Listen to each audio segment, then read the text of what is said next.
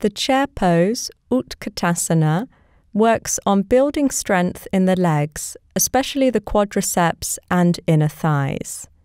It also engages the abdomen and arms and opens the front of the shoulders. Start this pose by standing tall with your feet together, big toes touching and arms relaxed by your sides. Notice if your weight is slightly towards the toes or heels. If needed, adjust yourself to feel grounded in the center, keeping a slight bend in the knees.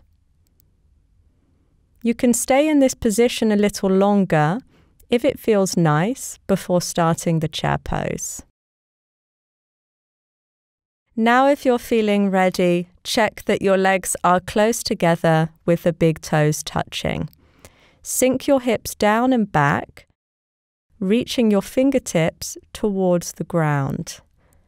From here, raise your arms up, straightening your arms and extending your fingers up towards the ceiling.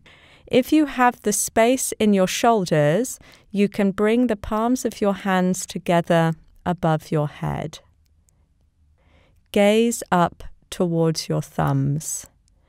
Bring your weight back into your heels and see if you can bend your knees a little deeper, dropping the hips a little further down and back as if you're about to sit on a chair. Keep lengthening and lifting the front of your body upwards and drawing the abdomen in and up. Avoid overarching of your back. Reach your fingertips a little higher while dropping the weight of your shoulders down away from your ears.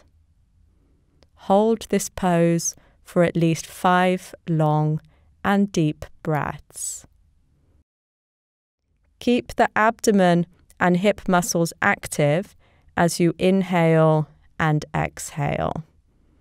Come out of the pose by pressing through the feet and come back into the standing pose that you started in.